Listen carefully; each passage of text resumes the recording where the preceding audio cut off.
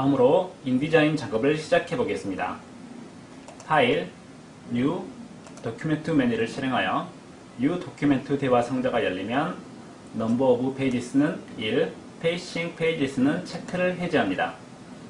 Page Size는 A4, Margins의 Top은 25.5, Bottom 역시 25.5, Left는 22, Right 역시 22로 설정하고 OK 버튼을 클릭하여 새 Document 창을 엽니다. 실제 크기의 안내선이 만들어졌으면 안내선의 위쪽, 아래쪽, 왼쪽, 오른쪽, 안쪽으로 3mm를 뺀 작품 규격 크기의 안내선도 만들어야 합니다. 눈금자의 기준점을 드래그하여 안내선의 기준점이 0이 되도록 설정합니다. Zoom Tool로 실제 크기 안내선의 왼쪽 위를 드래그하여 다음과 같이 확대하고 왼쪽 눈금자에서 안내선을 드래그하여 3mm만큼 안쪽으로 안내선을 위치시킵니다. 위쪽에 Control Panel에서 3을 입력하여 정확하게 3mm 지점에 안내선을 위치시킬 수 있습니다. 역시 위쪽에서 안내선을 드래그하여 안쪽으로 3mm만큼 정확히 위치시킵니다. 위쪽 Control Panel에 3을 입력하여 정확하게 3mm 지점에 안내선을 위치시킵니다. Hand Tool을 더블 클릭하여 원래 화면으로 돌아온 후 이번에는 오른쪽 하단을 Zoom Tool로 확대합니다. 역시 안내선을 드래그하여 안쪽으로 3mm만큼 166이므로 163 지점에 설치하면 되겠습니다. 위쪽에 163을 입력하여 정확하게 3mm만큼 뺀 곳에 안내선을 위치시킵니다. 246이므로 243 지점에 위치하면 되겠습니다. 원래 화면으로 돌아온 후 왼쪽 상단을 확대하겠습니다.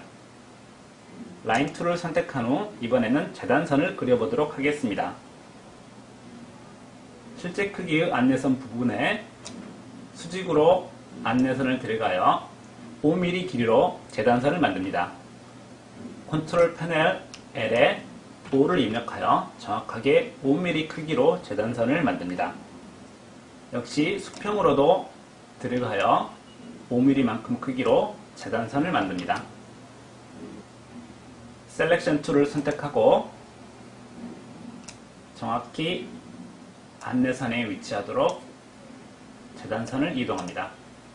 만든 재단선 두 개를 같이 선택하고 Control C를 눌러 복사합니다. 각각 네 귀퉁이의 재단선을 복사해 보겠습니다. 컨트롤 V를 눌러 붙여놓고 다시 Selection Tool로 안내선에 정확히 맞춰 이동합니다.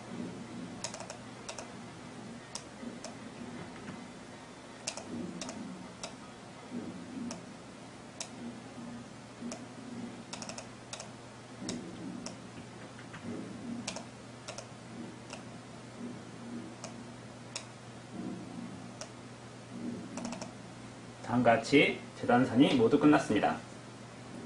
다음으로 이미지를 가져오도록 하겠습니다. File, Place 메뉴를 클릭하여 포토샵에서 작업한 01.jpg 파일을 선택하고 열기 버튼을 클릭합니다. 안내선의 왼쪽 상단을 클릭하여 정확히 이미지를 위치시킵니다. 마우스 오른쪽 버튼을 클릭하여 Display Performance High Quality Display로 설정하여 이미지를 깨끗하게 합니다. 컨트롤 패널에서 X0, Y0, W166, H246으로 되어 있는지 확인하고 틀리게 되어 있으면 직접 입력하여 정확히 설정하도록 합니다. 다음으로 외곽선을 표시해 보겠습니다.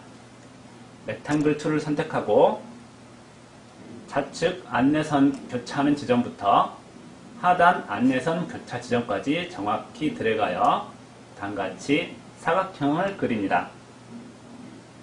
Stroke 패널을 열어서 Weight 1로 설정되어 있는지 확인하고 외곽선을 표시하도록 합니다. 컨트롤 패널에서 X3, Y3, W160, H 240으로 되어 있는지 반드시 확인하도록 합니다. 다음으로 문자를 입력해 보도록 하겠습니다. 화면을 적당히 확대하고 Type Tool을 클릭합니다. 로고가 있는 위쪽을 드래그하여 글 상자를 그리고 디자인 원고를 참고하여 글자를 입력합니다. 국물이 매콤한 HOT 라면 면발과 국물이 매콤한 열라면까지를 입력합니다. 입력된 글자를 드래그하여 블록 지정한 후 캐릭터 패널에서 적당한 폰트 크기로 설정하도록 하겠습니다.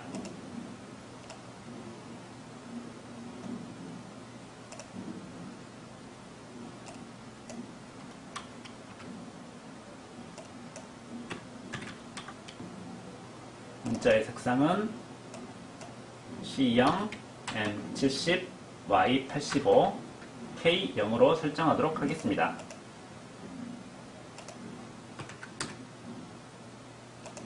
위치를 적당히 조절하여 디자인 원고와 같이 배치합니다. 다음으로 패스 문자를 입력해 보겠습니다. 먼저 Ellipse Tool을 선택하고 Document를 드래그하여 다음같이 냄비 크기보다 살짝 크게 원을 하나 그립니다. Path로 사용할 용도이기 때문에 선색을 모두 없음으로 설정하도록 하겠습니다. Type on a Path Tool을 선택하고 그려진 원을 클릭하여 글자를 입력해 보도록 하겠습니다. 후루룩 후루룩 맛있는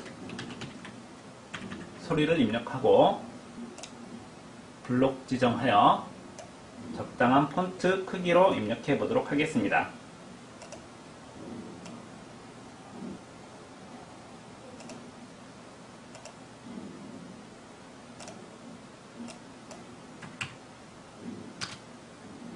Stroke 패널을 열어서 문자의 두께를 적당히 설정하도록 하겠습니다.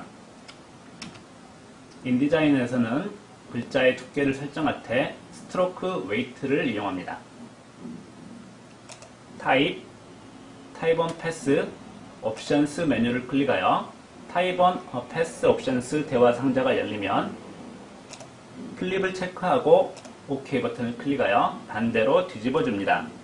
블록 지정을 해제하고 글자의 가장 앞쪽에 커서를 둔 후 스페이스바를 여러 번 눌러서 원하는 위치에 가져다 놓습니다. Selection Tool을 선택하고 문자를 선택하여 컨트롤 C, Alt, Shift, 컨트롤 V를 눌러 같은 자리에 하나 더 복사하고 타이틀로 글자를 블록 지정한 후 색상을 흰색으로 변경하도록 하겠습니다.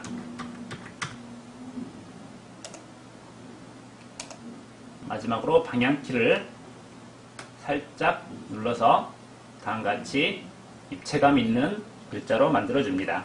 이와 같은 방법으로 디자인 원고를 참고하여 나머지 패스 문자도 입력해 보도록 하겠습니다. 다음과 같이 디자인 원고를 참고하여 나머지 패스 문자도 입력해 보았습니다. 시간 관계상 과정은 생략하였습니다. 다음으로 아래쪽 글자도 입력해 보도록 하겠습니다. Type Tool을 선택하고 글 상자를 그린 후 글자를 입력해 보도록 하겠습니다.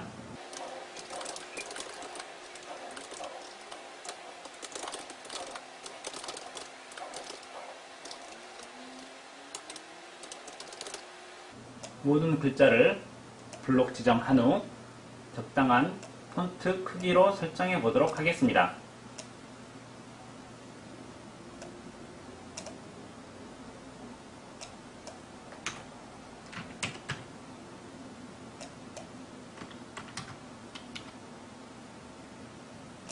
문자의 색상은 C0, M0, Y100, K0으로 설정하도록 하겠습니다.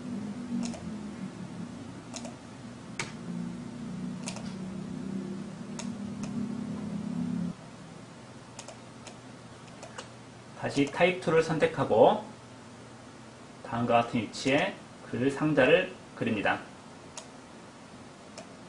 핫 라면을 입력하고 문자를 블록 지정하여 적당한 폰트 크기로 설정해 보도록 하겠습니다.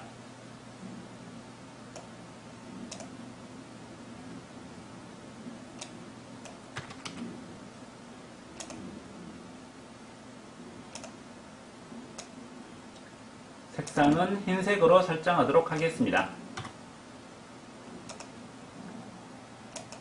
Rotate Tool을 선택한 후 90도로 회전하고 위치를 적당히 이동하도록 합니다.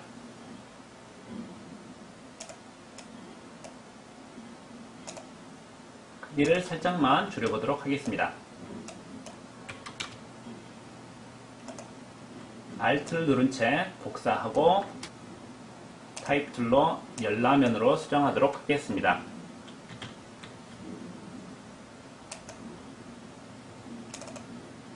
전체적으로 빠진 글자가 있는지 확인한 후 다음으로 비번호를 입력해 보겠습니다.